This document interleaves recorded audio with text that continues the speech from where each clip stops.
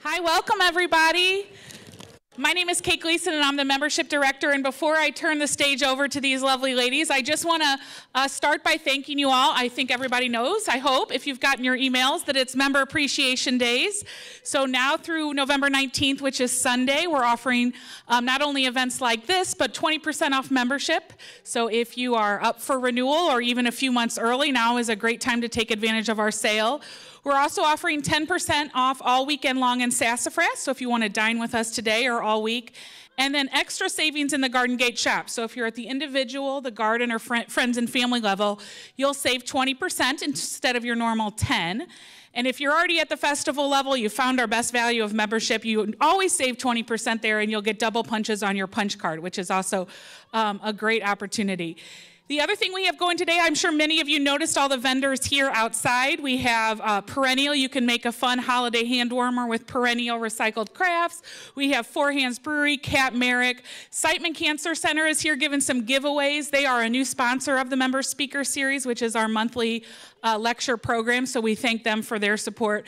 And the St. Louis Herb Society is also here as well, so thanks to them. So please check out their booths after this program. Everybody will be here till 4.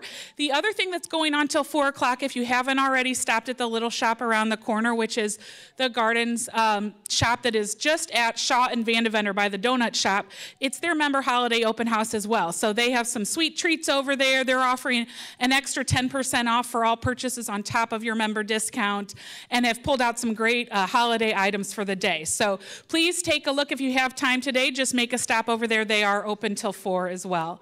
And then the last plug I'm going to make, the garden itself is open till 4, so you can wander to the garden gate shop, but also our annual holiday wreath display and auction. So we're so lucky to have nine participating florists and garden design shops who have designed and donated a wreath for us. Those will be open, uh, those will be up all season long for auction. You just bid online or stop at the membership desk. They'll help you make a bed if you're interested. But more importantly, just check out uh, what they've done this season. I think it's a very eclectic array of wreaths. So that'll be open again today until 4 o'clock. Now it is my great pleasure to introduce the team from Planthaven Farms. First, we have Pauline Sella, who is a member uh, of our members board and who we asked to do this and said, so we want you to go big. And she really took it seriously. You can see the display right outside the auditorium and then obviously the fun we're in for the next hour. Uh, Pauline is the owner of Planthaven Farms Garden Center, which has three locations in O'Fallon, in Oakville, and their newest location in Olivette and she uh, started a career in the banking industry, but then decided to have a little more fun with gardening and garden centers. So uh, it's obviously been successful for her and her husband. So we're so excited she is here with us. We also have Rhonda Lynn Meckel, who is a freelance designer. She currently serves on the board of the American Institute of Floral Designers. She has more than 40 years of floral design experience. She started when she was 16 years old. So, an incredible career, an incredible life's passion designing fl flowers. Uh, she's decorated at the White House for Christmas, the Rose Bowl Parade, and she noted that she did the uh, Chihuly Gala back when we had Chihuly in the garden for the very first time in 2006. She was the designer behind all the florals for our gala. So, her history with the garden goes back very far. Uh, she said she's done presentations like this all over the country, but she remembers her very first presentation was holiday decorating at the Missouri Botanical Garden in the Ridgway Visitor Center. So years and years ago, but it comes full circle now that we're in this beautiful new space. It is my pleasure to welcome them both to the stage. So please give them a round of applause. Thank you. Okay. Thank you. All right, I'm turning it over to Pauline. Well, thank you all for coming. Um, and we have a special happy birthday to Kate today. So, everybody, a little round of applause. Happy birthday. Um, it's my trusty helper, Bridget. Um, well, first of all, if you don't know anything about me, I have garden centers, um, like she said, around, the, around St. Louis. And one thing I do not believe in or haven't for 23 years is the word faux. Faux foliage just is never been in my vocabulary. But Faux foliage is so spectacular now, and the quality and the real realness is unbelievable. So I've never done this before, so it's the first time for me. I did this at 10 o'clock this morning, and I feel like this is all over again, and I'm already nervous. But um, so I want to show you how you can incorporate faux foliage, faux foliage, that's a big word, and fresh. So you have the scent of Christmas or holidays, um, but then when you know, these, they don't last forever. They die back or the birds get them or the squirrels get them. You can then still have a beautiful front porch pot. This is obviously a very large display of a French port pot, but um, we thought since this is a big audience and this is an honor to be here, we would, you know, make it a big show. So I can Vanna White this out here and show you all. So you all back over there, you all can see this. Um, and I'm going to just show you how simple this is. Um, I guess first thing I should show you is what I have in here, which are um, these greens, which would be like a cedar cypress type green, but if you really, I mean, from afar, it probably looks really real, but if you touch it and feel it, it's incredibly realistic. Um, and then um, I have eucalyptus, and this to me is the most real version of eucalyptus I've ever seen. So these are called picks. So just simple word. I didn't know what these were six years ago, so that's why you all know this, and sorry, I already boring you. So I'm going to add the magnolias for interest in these corners. I have, um, I guess to tell you the background. So I've learned a lot about being a florist. I'm not a florist, never will be a florist, but they have the hardest job. I spent literally hours filling this with cardboard or with styrofoam to raise it up, and then filling the Oasis Center with water to keep it there and taping it. It is so much work cutting all of this and fitting it. So every arrangement you get at home or, or delivered to you or you deliver to someone, it is so much work that goes just to get the container filled before you even put the flowers in. So when you get that bill from your florist and it seems like a lot, it's because there's so much work that goes in it. So I've learned a lot this week with Rhonda. So back to my container. So I'm just filling in the corners so you have some interest all the way around. Because if this is on your front porch, you want to see all four corners. If you walk up, if you walk around, your windows in the back, you maybe have something on the side. You just want to have interest everywhere. And with the magnolia, I personally think the backside is prettier than the front. So, which is not, not something ladies would probably ever say out loud. Um, so, I've got enough of this in here, I think. And now I'm going to add some fresh greens. And this is really just to give it some softness around the bottom and the smell of Christmas when you walk by it.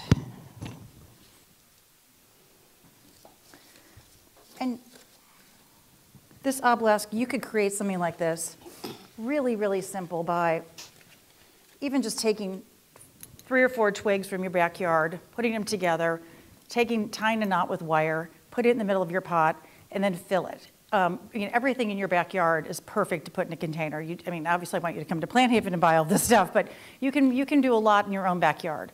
Greens, if you happen to have a magnolia tree, if your neighbor has one, I mean, there's a lot that you can do. So um, I'm to add a few more greens.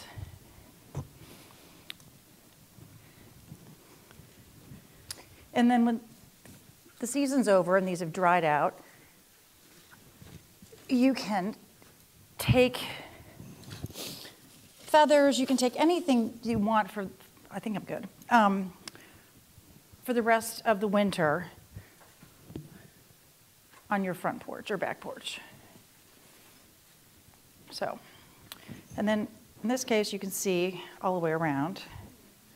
That's a full pot. Maybe you in the front can smell. So, that is porch pot number one. And then Rhonda and I, well, thank you. And so Rhonda and I are going to work up on the stage. Yes, I need Vanna up here. Great job, Pauline. Thank you. We tried to set the stage like you were entering someone's home. Most times in the holidays, that is a time when friends and family gather.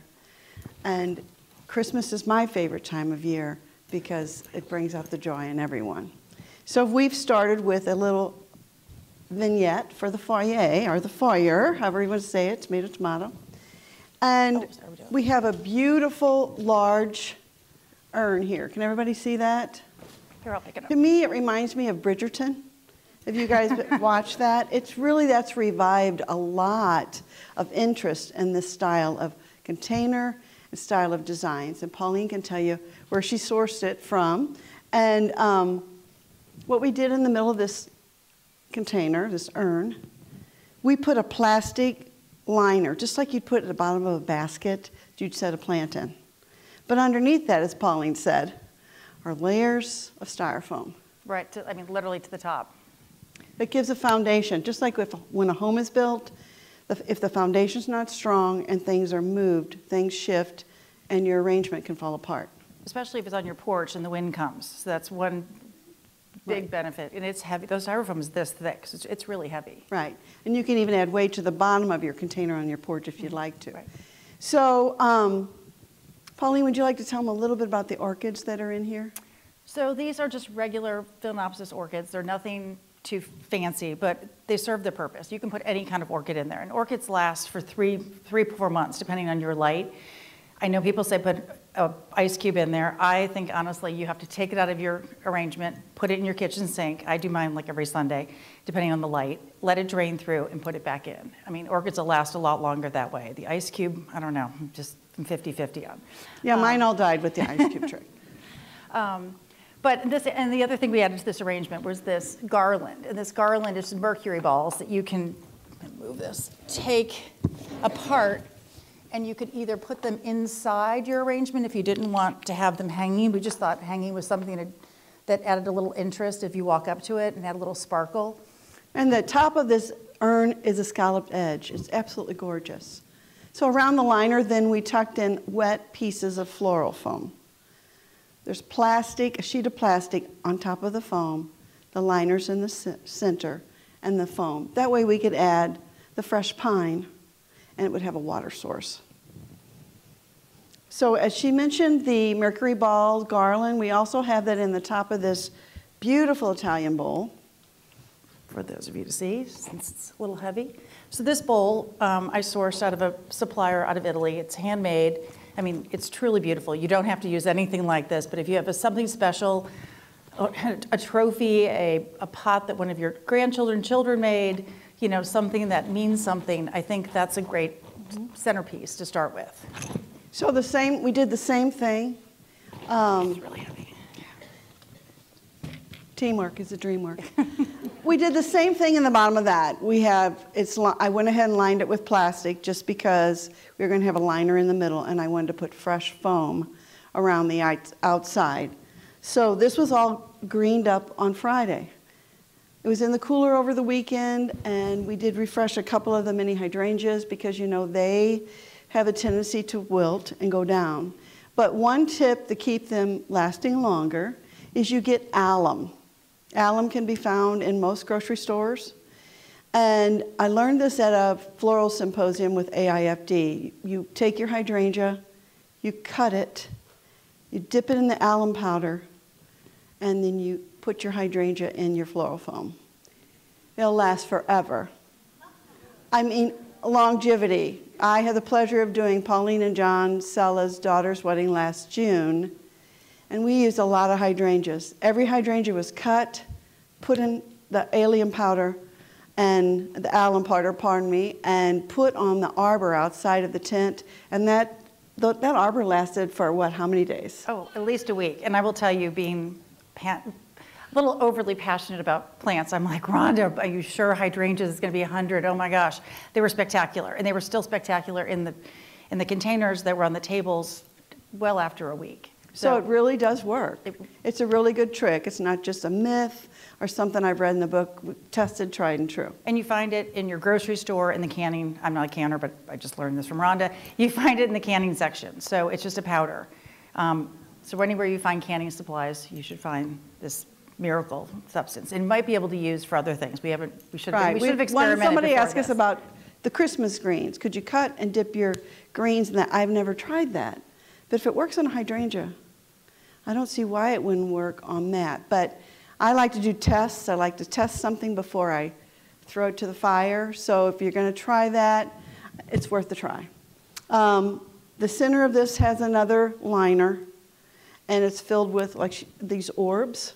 Right. Everything is fresh in here Yes. except for the orbs. They're a mossy Yes. faux material. So we continued the color green all the way to the base of this container for a nice solid color grouping. Of course, pardon me, Santa, I've been standing in front of Santa all this time. Um, Do you wanna talk I might not get any gifts this Christmas. Yes, let's talk about our journal. Yes, so we came up with the idea. Pauline has all these wonderful journals, all different types, at her stores. So my sons use their journals every morning. They do their Bible study, they write in their journals every day. So we decided, oh, we should show a journal and have it out when your guests come over. So have them write the date and maybe write down their favorite Christmas memory, Christmas past or something of this year. And then Pauline has something to share about And so that. I thought another idea um, that you could share this actually, Robin does this at her house, which I thought was brilliant. She has this when she has a dinner party or just even friends over and asks them to write something about their meal and about their stay or about their experience. And she goes back and looks and then writes before they arrive, or maybe after, writes down what she served, who was there, and then she can go back and look at, I mean, hopefully they're not comments like the chicken was dry and the, gra- the gravy was horrible, but um, I think it was a really clever, fun thing. And I think if you have, you know, young children, it's fun if they have friends come over to have this, this book, this, that you, they can write things in. I mean, it doesn't always have to be, you know, going to someone's vacation home or some place like that. I think it's just a fun way to start, a tradition to start, I guess is what I'm trying to say. Um, I thought the dinner party was clever, but I think you could use it for anything. It's also a great book to keep garden notes in, which is probably what it was originally purchased for at the store. Um, because some people love to keep track of what they plant where, they forget, it doesn't come back up. So it's another great tool, and it's really pretty and it's got great paper. And then if you start that long after you're gone, hopefully your kids will pick it up. And they'll look at it, and you can leave a little note for them in there too, like, Johnny, really, you never picked up your room. Whatever you want to write. So Pauline talked about faux foliage.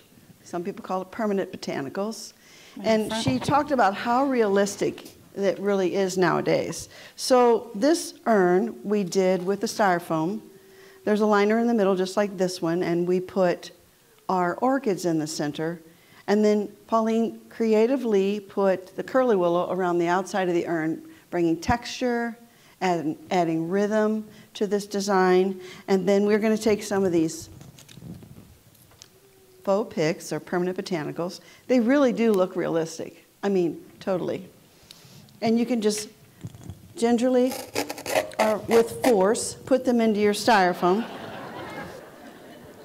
Been- And you know, if you're frustrated during the day, just put some picks in there. It feels so good. So this is another version of willow, curly willow. And just to show you how pliable it is, I mean, if it's a couple years old, it's going to snap, but it literally will turn. And you can make anything out of it. You could make a circle and, you know, use this as a decoration in the front of your pot. You can make it big and tall. You can put it in your planters. It's just really versatile. Or when we get to this table, we run it down the middle of the table. But this is what curly willow starts out looking like. And there's a yellow version and then the- this is because it's fresh and eventually it turns brown. So just so you could get an idea of how that came to be. And when it's fresh, it's very pliable. So you can manipulate it. And we'll show you as we go to the large table setting how it can be used in other ways instead of just coming up or going around the outside of a container. And these large pine cones are great. I mean, I've had mine, I don't even know, maybe five years. Take them out of my pots, put them in my garage in a box, forget about them till the next Christmas.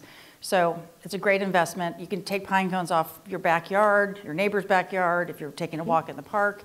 Um, but a good pine cone is a great feature for, the, for fall holiday.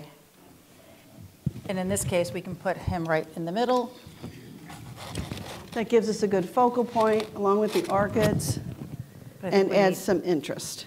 Two.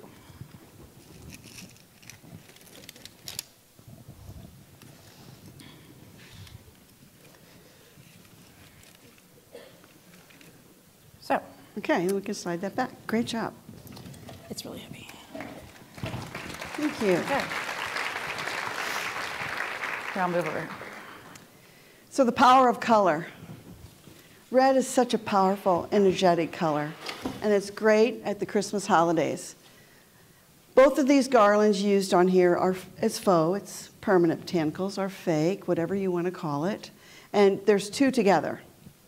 So instead of just stringing them end to end and letting them hang over the fireplace, I took the last third of the garland on your left and I twisted it together with the first third of the garland on your right so that that center portion was very thick and very lush.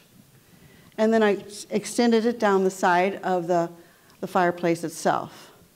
Then the garland was simply put into the middle, there's two of them, and you can move those ornaments or spheres around any way you want.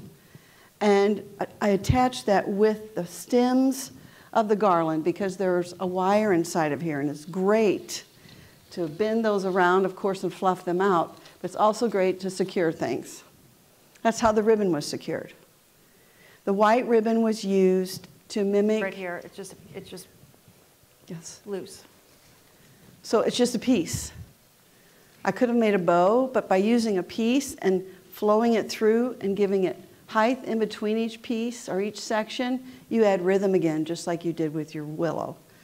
We also use that in the wreath. And Pauline orders all this great product. And I brought it and I said, What do you think about this ribbon? Do you think we should use this on stage? And I said, oh, it's glittery. And I, then I remembered back at market, I walked into the showroom and I'm like, oh my God, everything's glitter. And if you know me, there's nothing about me that's glitter. So I was like, what do I do? But I have to be on trend, so I have to. So I went a little, not too crazy glitter, but I will tell you that glitter is really big for the holidays. So you'll seem to see it everywhere, from clothes to shoes to everything. Sequin pants, But I will say, once you have it up here mixed together, you know, a little glitter really does add kind of the final touch. Um, but yes, I did say, oh my God, did I buy that? So Like, well, I have this, red. But it Um, really it does. does, it looks great. And it's very stiff. It's really a fine ribbon. It's a number 40 width, so it's very pliable.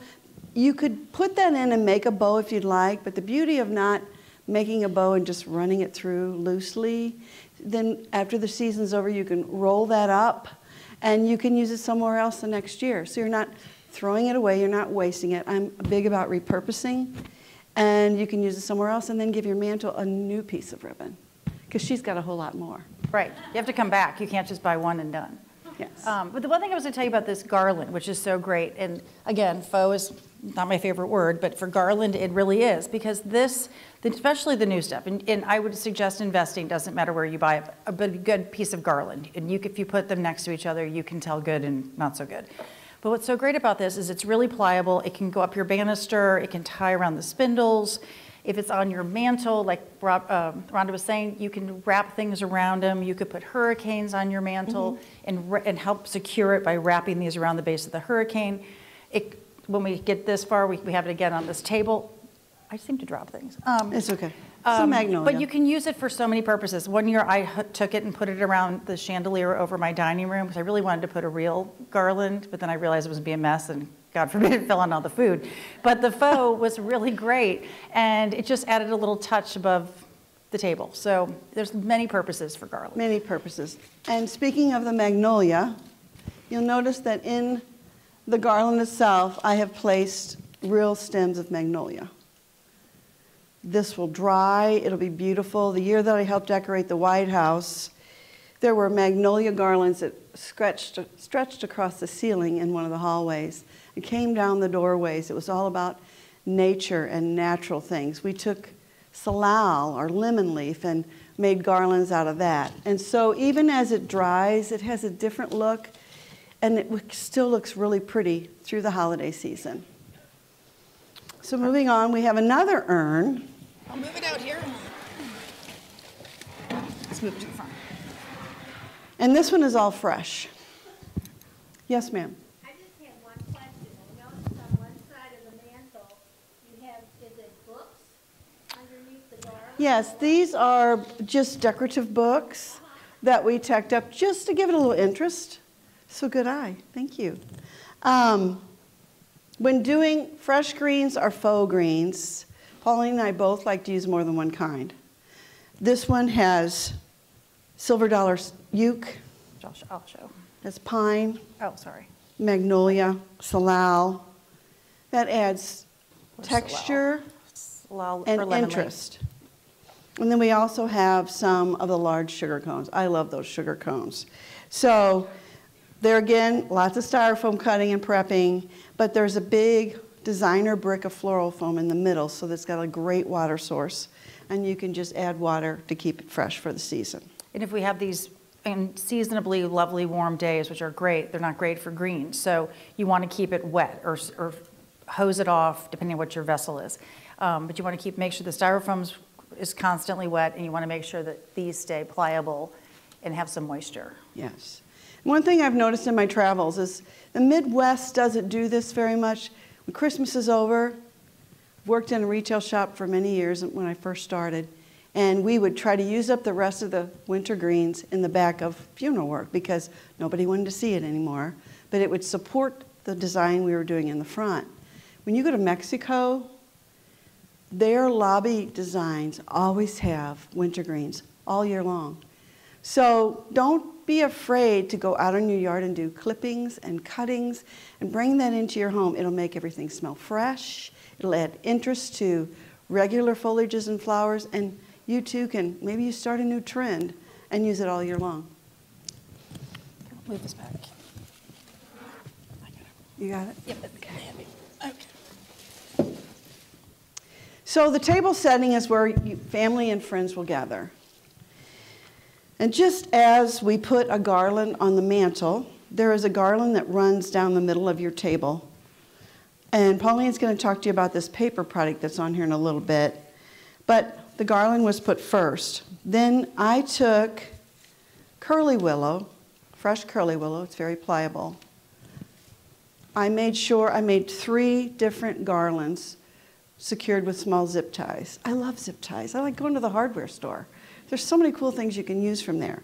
So the zip ties secure that together, but I made sure there were beginning and ends, just like a loaf of bread you get, it's got ends. Well, the same with this. My ends are together in the middle, and, and the middle are the beginning of the beauty part of the curly willow comes out at the end. So you have that same flare at each end of all three pieces, and it comes in to embrace these beautiful urns.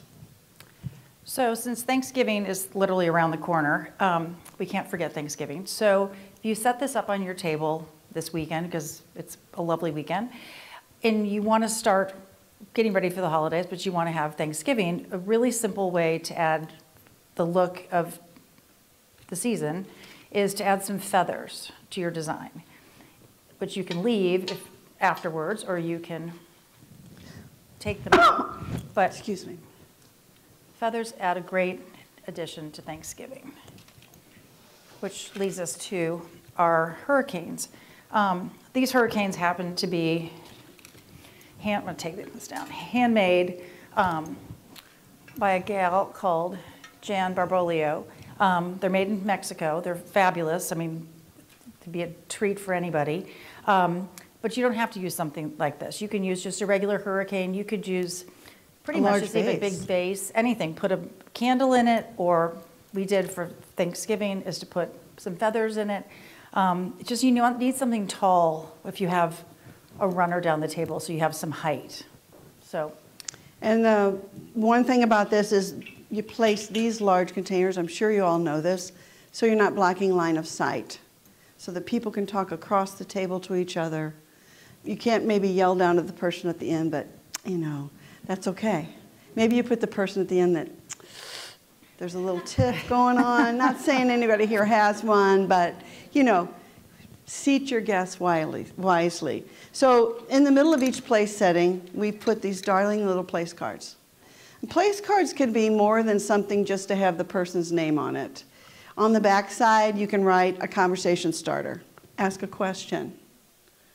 How long have you lived in St. Louis? Where's your, where'd your family originate? Um, what's the most embarrassing moment of your life? It's funny little things to get people talking because it will open up the conversation for the day or during the luncheon. so I want to talk about this tablecloth or table runner. So it is, it comes in a tube. There's many different versions of it. Um, But what, what's really amazing about this is you can have, you know, your Aunt Bessie's fancy linens that you don't want to ruin, which is why people don't want to put them on their table because God forbid the gravy gets put on it or a glass of red wine. You can still have your beautiful side linens by adding this runner. And the runner can go down the middle or the runner could, like my house, I don't even put the linen out anymore. I take two of these and make two table, um, two sides, so it makes a full tablecloth. And it's on a roll, and the roll is pretty thick because we used, oh, I'm making sound at the same time. We used- started the roll of paper at this end, And the other roll, it's tucked under there. and but we still have a lot left. yeah, we have half a roll, more than half a roll left. Um, And it, it, and they come in all different se- seasonality, everyday use, um, whimsical. I have one customer that, they come in, um, it looks like a football field, and she can bring, comes in and buys one, seems like every month, because her grandson likes to play football on her kitchen table. So she, she lays it out, and he brings his little, I think, army men, and he plays football with them. So there's a lot of uses. Um, You can draw on it if you've got young people at home and they're bored at the dinner table, maybe put some crayons out there. Um, So there's lots of uses for it. Um, And we decorated the table, obviously for Thanksgiving as well, but um, chargers go a long way, just to add some depth. Um, In this case, we're showing melamine plates, the new plastic. Um, They look real, they look like china, they dishwasher safe. You know, now everybody doesn't want, I don't even know if people even have china anymore, but it's, it's a great alternative to have something that looks lovely, something that looks, you know, rich and, and holiday-like. And each place setting is not the same, because on this one, We have a, we have a different. we have a different style, same coloring uh, as far as that wood tone, Right. but it's all cut out. Right, so you don't have to have matchy-matchy, or you could even layer on top of each other. Um, So lots of uses, and, and these can be used year-round. I mean, rattan doesn't have to be for summer anymore. I don't even know if this is made of a plasticky material, It doesn't have to be used for anything, and they're easy to wash. We've got some fabulous linen napkins up here uh, that have a reindeer on them. And then Pauline has these great antler napkin rings, which we have tucked in fresh pine. The beauty of this paper as well is if you do use fresh garland on your table and it's been on there a few weeks and you have to clean it up, you don't want all those needles going everywhere. You can just roll this paper up or sweep it off after you pick up the garland. So it's got lots of wonderful uses. You can shake off what's on there and put it in the recycle. So we're all about that being sustainability as well. And then if you love your table, and it's a beautiful wood table or piece of art, a similar, same, doesn't have to match. Um, These are just tear-off placemats. Same thing, you can line them down your center, you can use them individually. It's just, I don't know, the way of the world is making things simple, so, and clean up your mess so you can enjoy the rest of your party. So I highly recommend paper products, regardless of where you get them, but hopefully you come to Planthaven Farms. And we've also used it to hide some of our stuff for the table. So see, it has so many uses. So you know the table's not done until it's overdone, Here, right? Over here.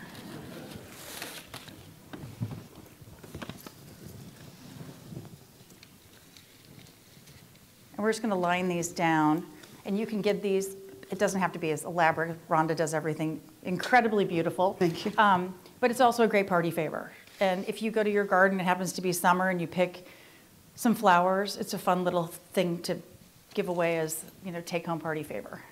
And these are, are nestled into the garland itself. So, and they're all fresh. So you can totally mix, mix your, pardon me, your fresh and your faux items together, and the scents of the season are there.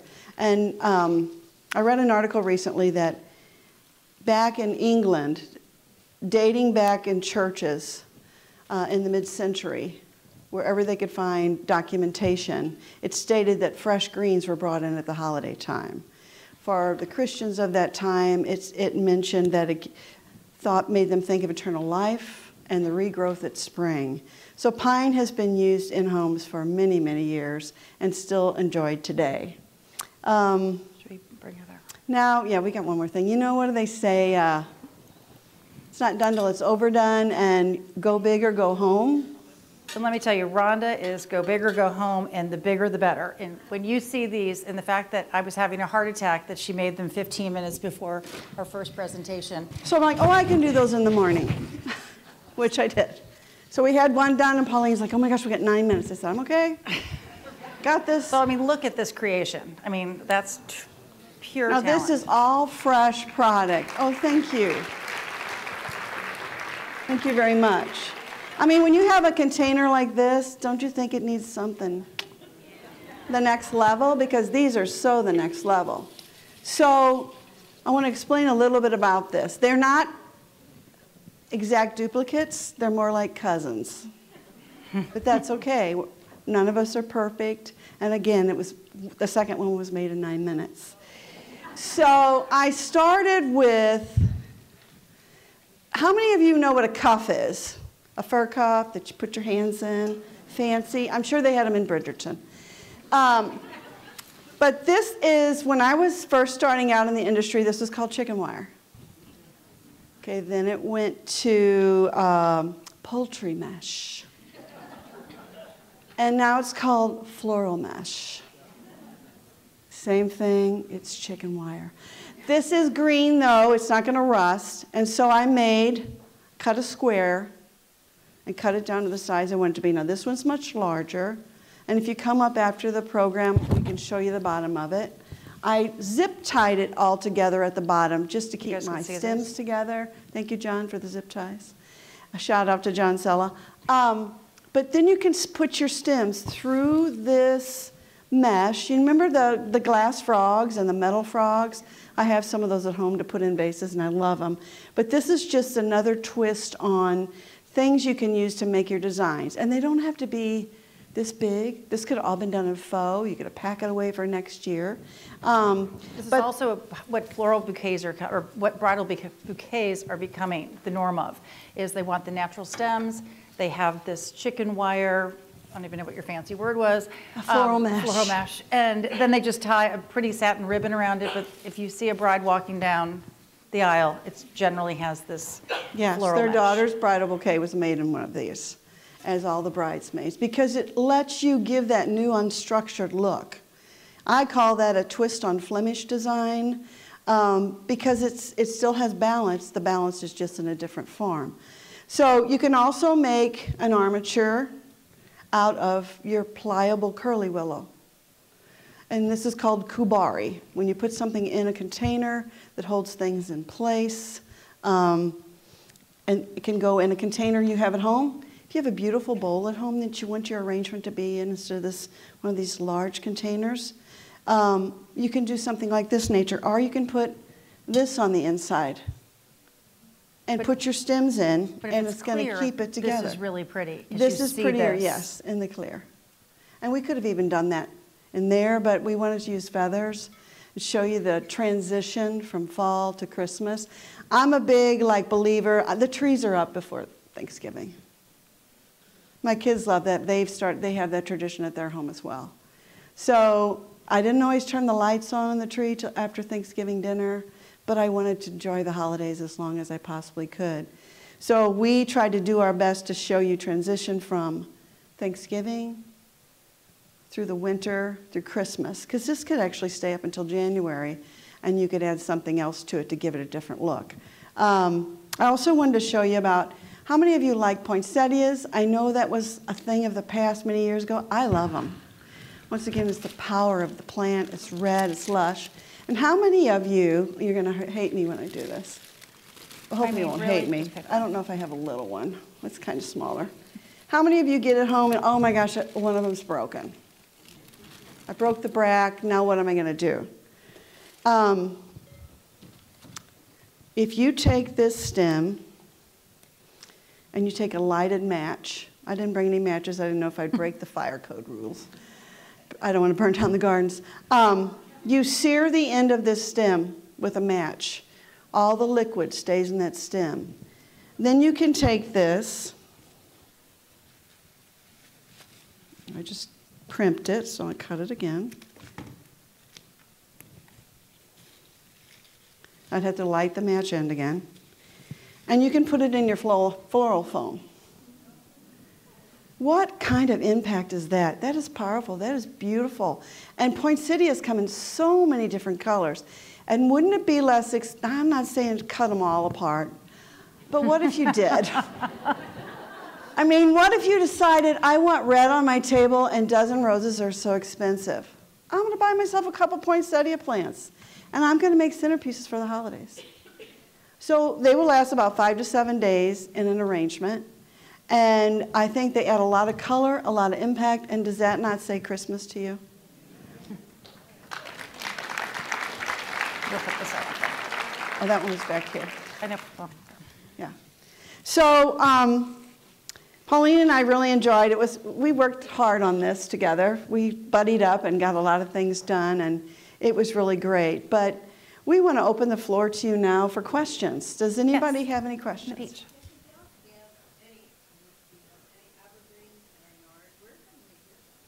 So our question is, if you don't have any evergreens in your yard, where can you get them? Planthaven Farms. Silly question. Um, Yes, we have fresh greens. We have fresh trees coming to our Oakville and um, Olivette location on Thursday, and then fresh greens to follow the week uh, of Thanksgiving. Question in black.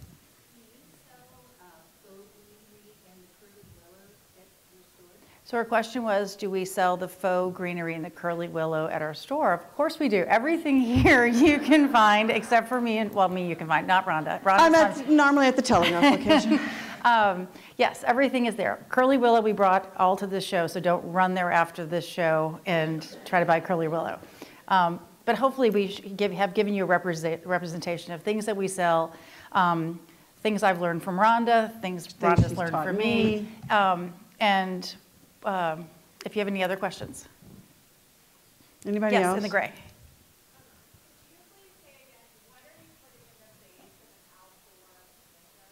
So our question is, what are we putting in the base of an outdoor planter? So we have, um, it's called floral foam, but pretty much any hard and it's hard. I had to use like a big knife and it's this thick. Um, So you size up the size of your planter. So in this case, you do circles or maybe smaller squares, um, and as, as high as you want it. And then whatever size your insert, you know, if it's this big, you put this to that height, and you'd put your oasis, which is that green, spongy-looking brick that you submerge in water. And I learned from Rhonda, you don't dunk it, you let it submerge float itself, down. or else it gets bubbles. Um, so that's how you'd start it, and that you'd want to keep the oasis wet, not not the rest of it. But the good thing about the um, having the um, I've lost my train of thought. The white You know, we've been yep. Working on Um, this for hours. having the foam in there is that you can, if you do use, like I, in this container, I did have picks and I put it in the floral foam and, or the, the, any kind of foam, so they, they stay sturdy. So if you have a windstorm or, you know, the dog wags his tail, it's not coming flying out of there. Right. I've had, and I've had some customers that they, they actually left the soil in their porch pots. I'm sure Mm-hmm. you have had too. And you, if you're gonna do that, then you have to make sure you get to that before it's frozen, solid, and you're out there with the drill, trying to make a hole. Right. That's happened. You're out in the cold and you're trying to make a porch pot. And sometimes what you can do is a quicker way, um, if you're gonna do that step, and Pauline will have wreaths, put a wreath on top of your urn stick your branches into that soil, and you can stick your willow into that soil, and it will stay beautiful. Right. So there's multiple ways to do things. Um, anybody have any other questions? Well, Did we put you to sleep, guys? Yeah. yes.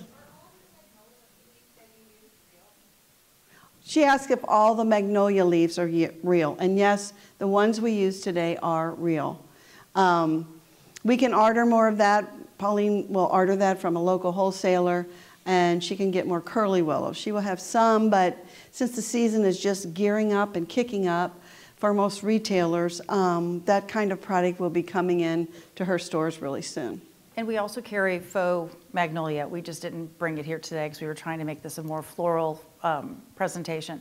Um, and our, but our magnolia comes from a magnolia farm where literally they go out and harvest off the trees. They're in Florida, and they two days ship it to us. So it's about as fresh as it can get. Thank you all for coming.